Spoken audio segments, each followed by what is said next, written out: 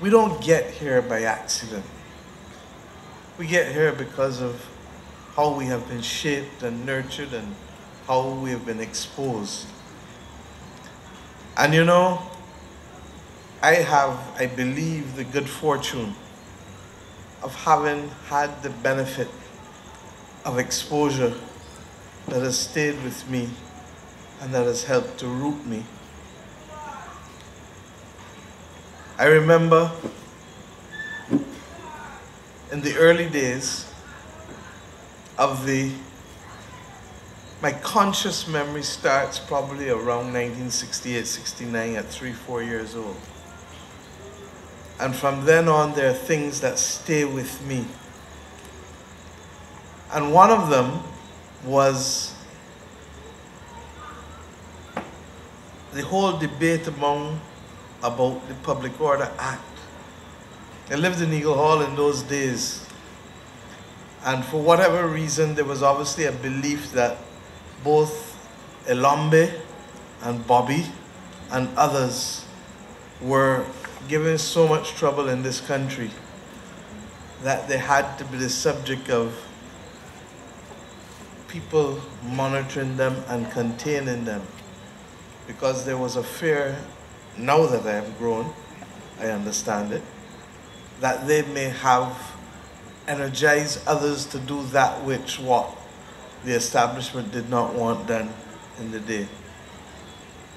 I then remember an image of Maurice Bishop in my parents' house and his head was bandaged up.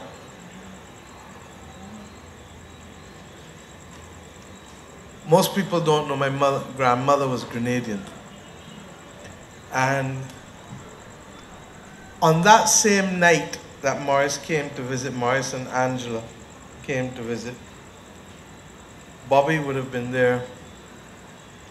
It was also the night that my two cousins were killed in New York.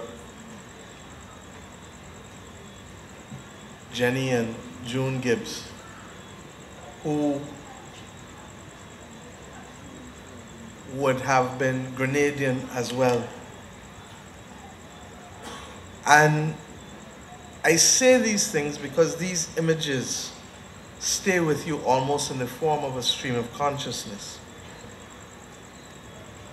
When I became opposition leader for the second time in February 2013.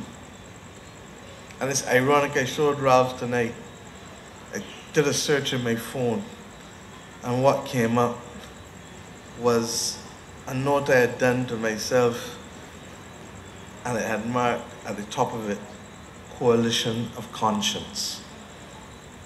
And the first name, along with yours, David, on the first line was Bobby Clarke and David Comissiong.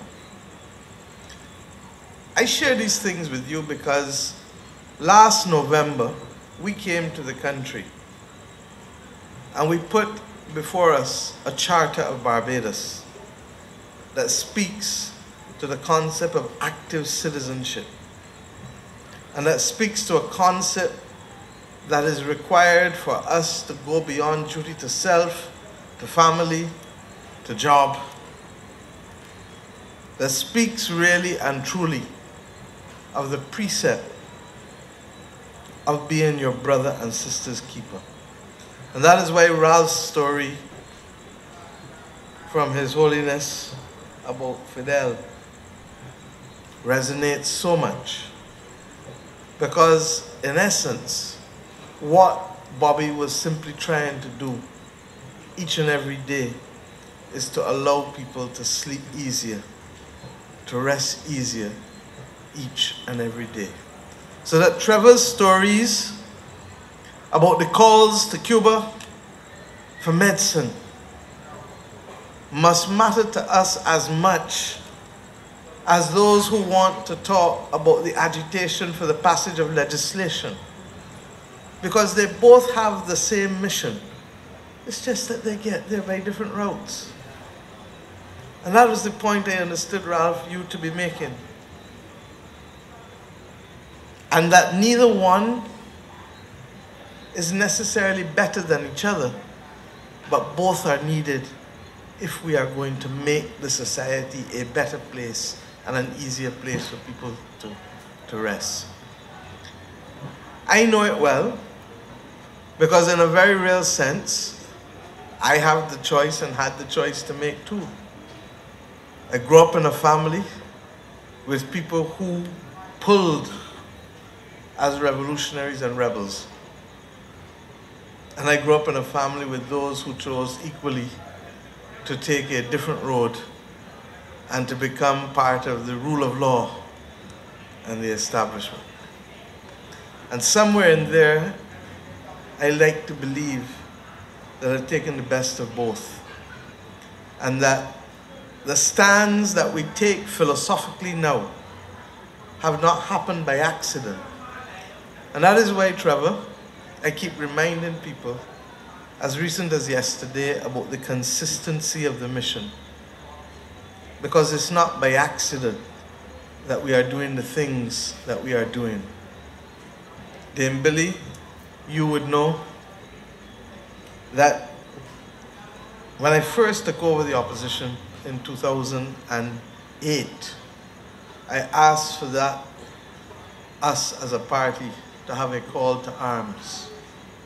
But the call to arms was rooted in a philosophy as equal as was the covenant of hope.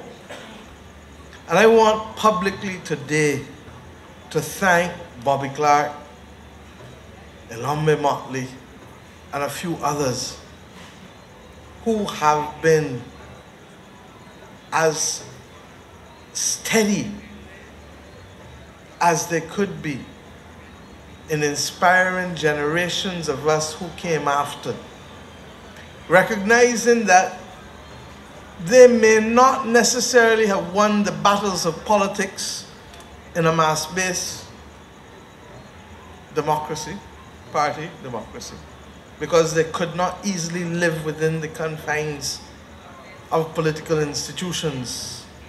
They may not easily have won the battles of the trades union movement because as Ralph reminded me, the trade union movement, by definition as well,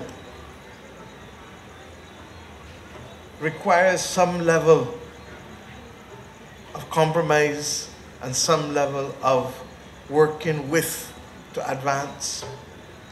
But what they did was to root us in the importance of the mission to reverse centuries of discrimination and to allow us to understand the importance of always seeing, feeling, and hearing people. And you hear me say so all the time because I feel as though I have a responsibility to continue to share that message with as many as would accept it. So I speak here tonight to say thank you, Bobby. Thank you for standing apart.